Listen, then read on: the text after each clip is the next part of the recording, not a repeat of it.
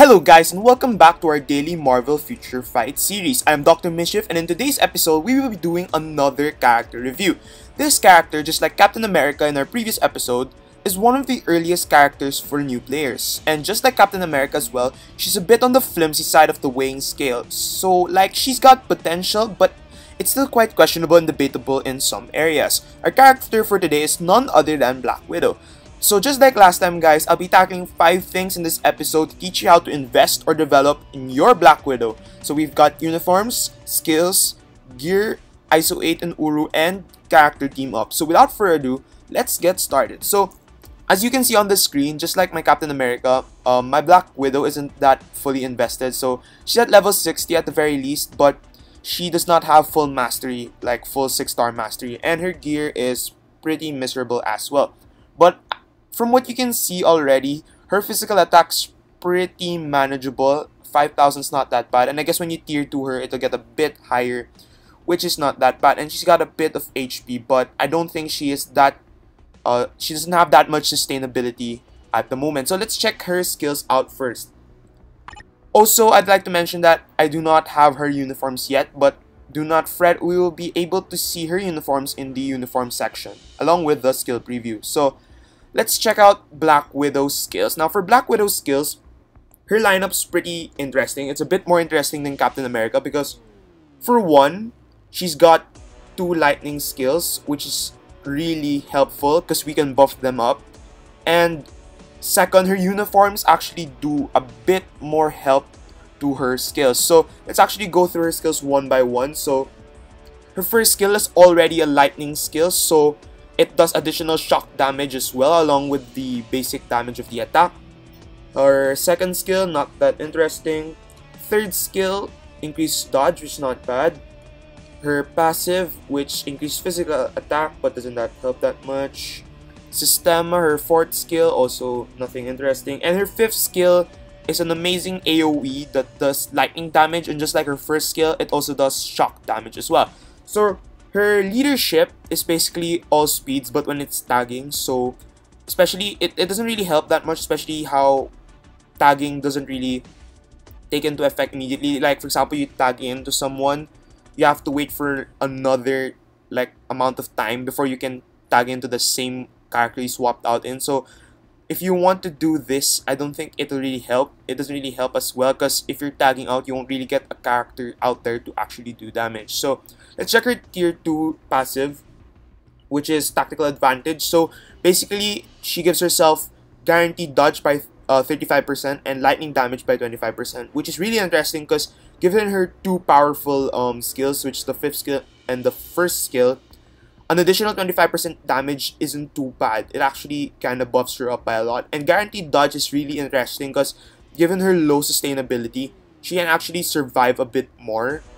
So she can she has that increased survivability given her guaranteed dodge. Now, let's actually check her uniform. So um she also has quite a lot of uniforms, but I'd only be focusing on the Secret Wars uniform and the Civil War uniform. Now, Again, this is debatable, but clearly, um, the Civil War uniform wins this one because even if the Secret Wars uniform has more range on the first skill, which is also a lightning damage skill, I think Civil War overall is better because let's actually view it right now. Because her um, third skill, which is a while ago's Infiltrator, I think. So instead of getting just dodge rate with this uniform, you actually get dodge rate by 8 seconds, and you get, it's basically an additional attack to her, which is not that bad. So, if you don't really want the additional attack and you want the extra, like, range for the first skill, then I suggest you go with um, Secret Wars 2099 uniform, but I suggest you go with the Pistol Strafe one, which is Civil War. Also, just a quick mention, all uniforms are on sale right now, so if you want to grab some uniforms, now might be the best time. Alright, so given that, let's actually check her skill rotation. Why did I exit? Alright, let's check her skill rotation with the Civil War uniform.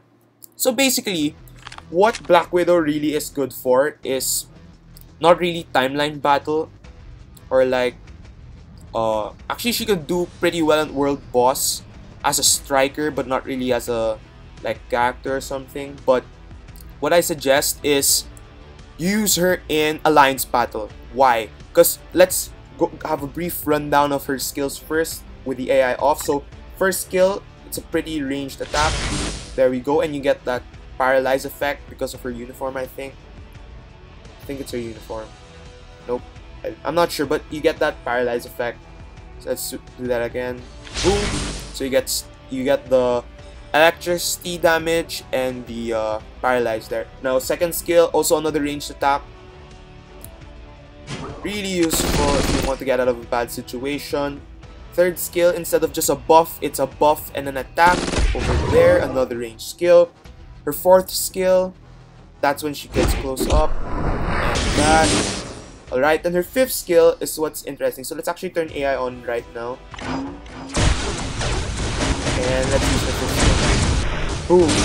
All of them get that damage over time. So that's really fun to use in alliance battle, especially with the mobs battle. So what I suggest, um, I'm going to be giving her skill rotation for alliance battle. For world boss, I think if you want to use her as a character, it should roughly be the same thing. So basically what you want to do is gather up all the opponents in um, alliance battle, fifth skill, boom, then just run around until your fifth skill comes back and you use it again. Boom. That's for maximum damage and so that you won't get hit as much. Given your guaranteed dodge, running around should be pretty useful. Alright, so let's do it again. Fifth skill, boom. Now, if you want to do a bit more damage, I suggest you use fifth skill, the fourth skill, the first skill and then just keep running. Or actually, what you can do is fifth skill, first skill, stun them, and then you use your fourth skill. Fourth skill or third skill. Anyway, basically what the first skill will do is just to stun so you can get up an additional attack close range. So given that stun, you might want to use your fourth skill or your third skill because your third skill gives you a buff. So let's actually try the third skill. So fifth skill, First skill, third skill. Boom. So you get that paralyzed, and while they're paralyzed, you get a buff. So it's a pretty simple technique. All you have to do is just do fifth skill, spam fifth skill, run around, and do it again once you already have it.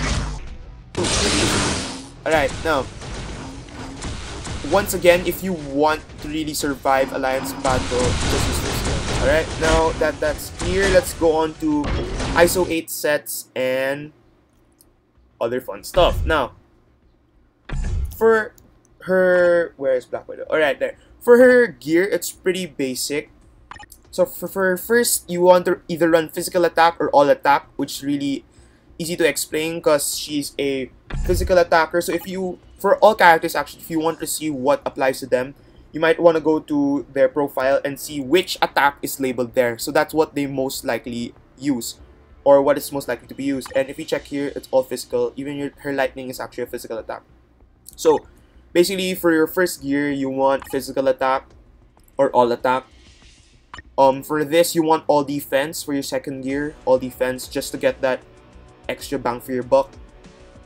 For third skill, uh, for third gear rather, suction gloves, you might want to run dodge. Now, why dodge? Actually, I'm not sure. It's kind of debatable at this point if you want dodge or HP, but I suggest dodge just to build up on your guaranteed dodge. Alright? But you can always go with HP if you want. But I suggest dodge here because it's easier to like avoid hits rather than take the hits in my opinion. But it's up to you guys. But I suggest dodge for the third gear. And for the fourth gear, let's actually check what we have. So we have the fun stuff which is critical range and critical damage but I suggest for this one instead of ignore defense you might want to run a skill cooldown why so if you run skill cooldown your fifth skill which is what you'll be spamming it'll be available sooner and you can just keep dishing out more damage quicker and you're less likely to get hit so I suggest skill cooldown here but if you want ignore defense that's fine but I highly suggest once again skill cooldown now for Urus um, I don't know if there's any skill cooldown Urus, but maybe you can get that if they have any skill skill cooldown Urus. And I guess what you want also is some dodge Urus. I hope there are dodge Urus or else I look like an idiot suggesting that. But if there are none as well, you might want to get some all attack Urus or physical attack Urus and maybe some HP Urus to give you that extra sustainability. Now for gear, this fifth gear, what I suggest is you get like not really recovery rate, but you can go with that. But you want a lightning obelisk. I'm not sure if I have a lightning obelisk in here. Is this a lightning obelisk? Yes, there. So basically you want something like this, but you want lightning for your main thing. So the main thing is the orange one. So you want a lightning for that. Maybe around 40% should be good. Because um, what that does is it buffs up your fifth skill and first skill and that's major damage right there along with your tier 2 passive. But if you're tier 1, this is what you're going to be banking on your lightning gear to give you that supposed plus 25 that that you would get from your tier 2 but you don't.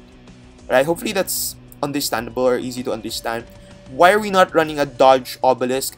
Well, that's why we're running dodge on your other gears so that you can reserve this obelisk for something more important which is lightning. Also, you can work your dodge up on like um, comic cards or something. Yeah, you can get there.